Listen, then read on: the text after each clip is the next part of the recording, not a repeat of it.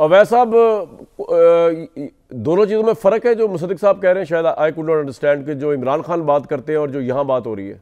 थोड़ा बताइएगा मुख्तसरन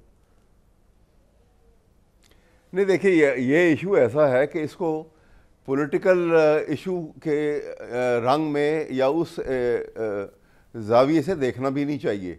बिल्कुल। ये प्योरली एक ऐसा इशू है मैं, मैं भी यही कह रहा हूँ। आपने एक स्टेट स्टेट का निज़ाम जो है ना एक जो एक निज़ाम जो स्टेट को रेगुलेट करता है, उसके अफेयर्स को कॉन्स्टिट्यूशन है, और उसके साथ रूल ऑफ़ लॉ का कॉन्सेप्ट है, वो इम्पेयर होता हुआ नज़र आ रहा है आपको।